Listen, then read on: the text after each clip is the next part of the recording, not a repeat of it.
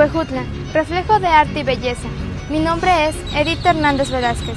Conservemos nuestra cultura a través de nuestras costumbres y tradiciones.